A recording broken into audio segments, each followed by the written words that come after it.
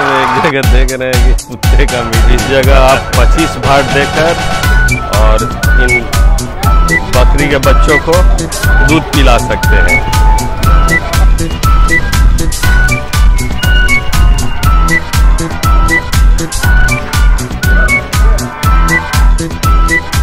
हाँ तो दोस्तों, आज का सफ़र का शुरुआत हो चुका है और हम लोग पहले पॉइंट की ओर आ चुके हैं।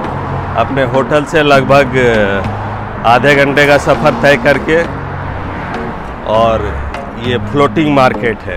ये पीछे आप जो देख रहे हैं, ये फ्लोटिंग मार्केट है और ये यहाँ का इंट्रेंस गेट है। और सुबह नौ बजे से शाम के छः बजे तक यह मार्केट ओपन रहता है और अंदर जाकर देख रहे हैं क्या सीनरी है, क्या मार्केट का दृश्य है। ये सब आपको दिखाऊँगा। हम ये सब आप एक्टिविटी कर रहे हैं तो 800 बार। और केवल इंट्रेंस फ़ी है 200 बार। और अब हम लोग चल रहे हैं अंदर की ओर। जैसे ही गेट में आप एंट्री कर रहे हैं तो पहले हॉल में आपको जो दृश्य दिखाई देगा, वो कुछ इस प्रकार का दृश्य है।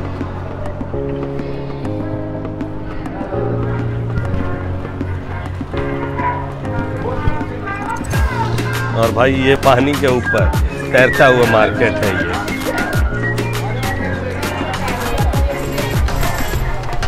और भाई अब शिकारे पर अब हम सवार होंगे और फिर मार्केट का आनंद लेंगे।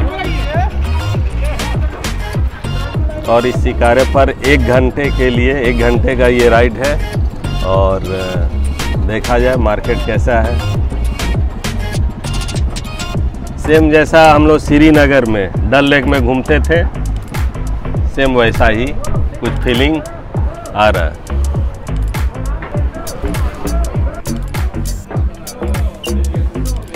ये तैरता हुआ मार्केट है और कोकोनट दिख रहा है।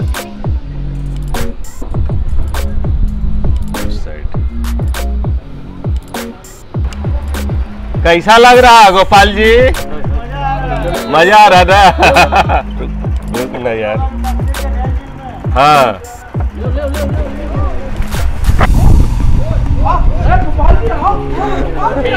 टोपी टोपी।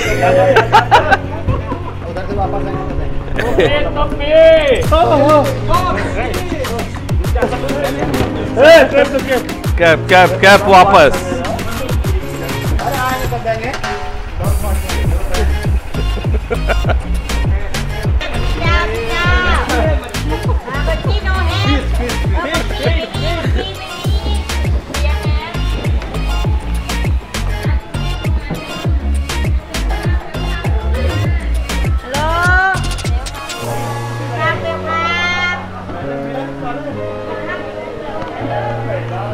और ये सब सी फ़ूड सब यहाँ मिलता है सी फ़ूड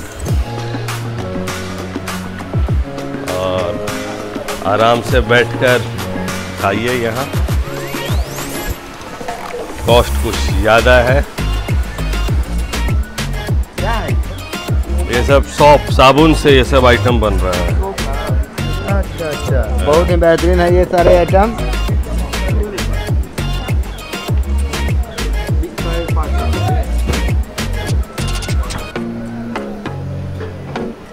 देख लीजिए, टोटल फल अभी भी यहाँ मिल रहा है। देखिए, आम। तब असली है, कोई नकली नहीं।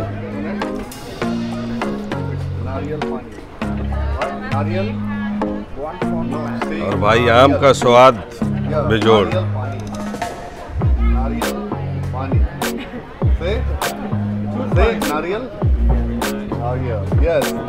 कोकोनट हाउ मच 140 140 बात थाईलैंड 140 बात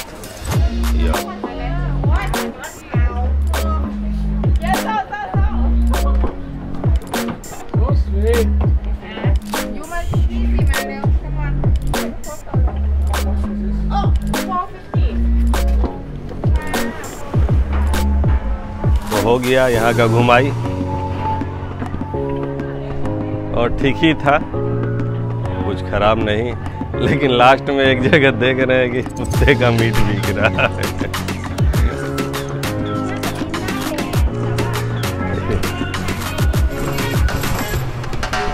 इस जगह।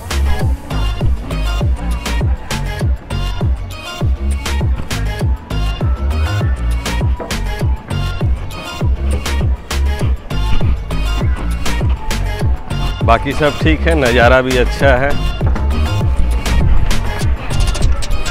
फ़ोटो खिंचाने के एक से एक पॉइंट है, और कुछ हमारे ग्रुप के लोग सात फीट लंबी, सात फीट लंबी।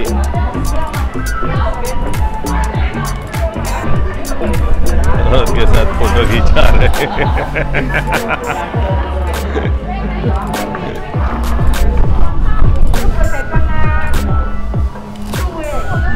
ये भी सुंदरी फ़ोटो खिंचवाने के लिए।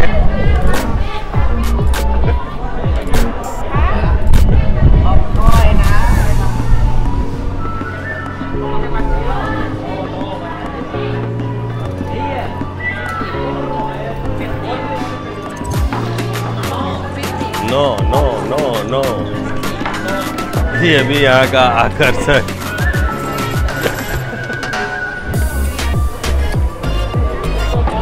भाई बहुत अच्छा रहा।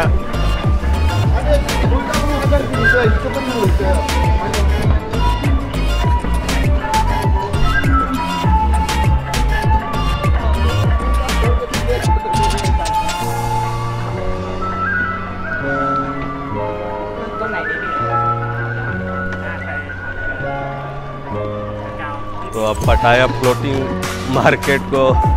अब विदा कर रहे हैं हम लोग और बाहर निकल रहे हैं। भैया घूम लिए मार्केट, अब चल रहे हैं अपने गाड़ी की ओर।